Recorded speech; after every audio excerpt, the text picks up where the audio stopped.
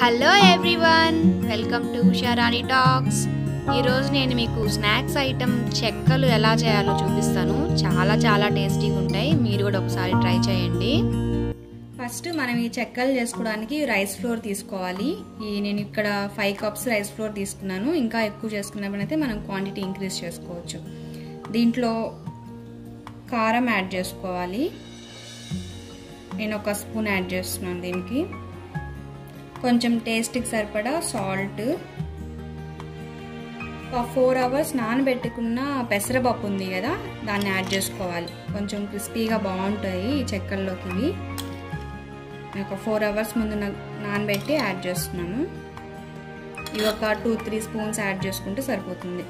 ఒక స్పూన్ నువ్వులు. ఈ నువ్వులు మనకి ఇష్టం ఉంటే యాడ్ చేసుకోవచ్చు లేదంటే లేదు. కానీ యాడ్ చేస్తే బాగుంటుంది టేస్ట్. ఇప్పుడు ఇవన్నీ యాడ్ చేసుకున్న తర్వాత ఇవన్నీ బాగా మిక్స్ చేసుకోవాలి. ఇలా మనం యాడ్ చేసుకునే పప్పులు ఇవన్నీ బాగా యాడ్ చేసుకున్న తర్వాత మెల్ట్ చేసిన బటర్ యాడ్ చేసుకోవాలి. ఇది మామూలుగా మనకి ఇంటి దగ్గర గీ దొరికితే అదన్నా యాడ్ చేసుకోవచ్చు. లేదంటే బటర్ ఉంటుంది కదా మనకి. షాప్స్లో దొరికేదన్నా తీసుకొచ్చి మెల్ట్ చేసి యాడ్ చేసుకోవాలి.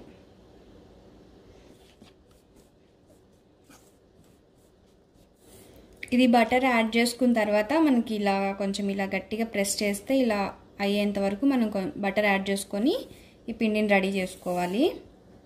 ఇలా అంటే ఇలా ఫామ్ అవుతుంది కదా సో ఇప్పుడు దీంట్లో మనం వాటర్ యాడ్ చేసుకొని దీన్ని మంచిగా కొంచెం గట్టిగా మురుకులు చేసుకునే పిండి మాదిరిగా మనం కలుపుకోవాలి. కొంచెం కొంచెంగా యాడ్ చేసుకుంటూ పిండి కలుపుకోవాలి.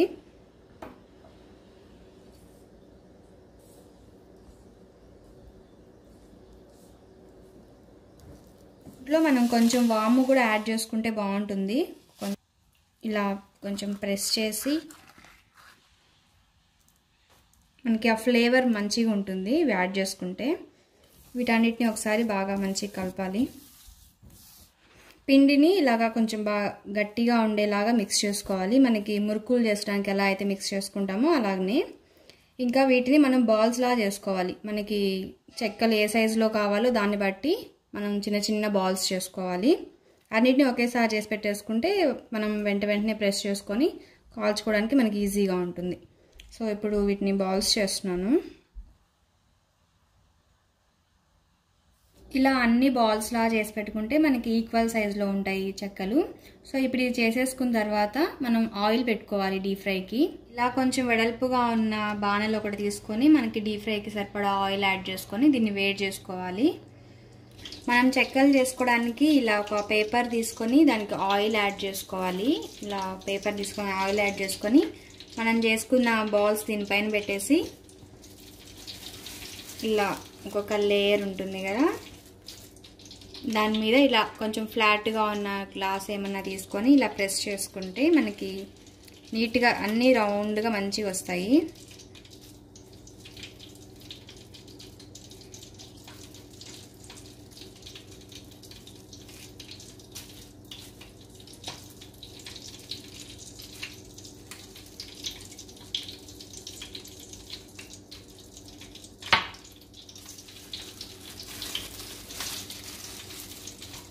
చూసారా? అన్నీ మంచిగా రౌండ్గా వచ్చాయి కదా?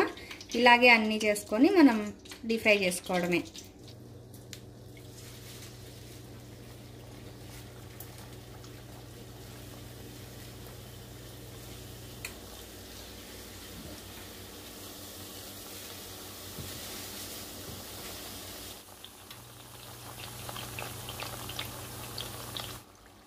చూసారా? ఇప్పుడు వీటికి బబుల్స్ రావడం ఆగిపోయాయి కదా. సో ఇప్పుడు మనం వీటిని తీసేసేయచ్చు.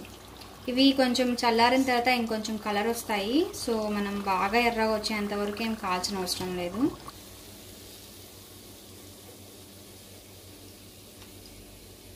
చూసారా? ఎంత బాగా క్రిస్పీగా వచ్చాయో. చాలా చాలా టేస్టీగా ఉంటాయి ఈ స్నాక్స్.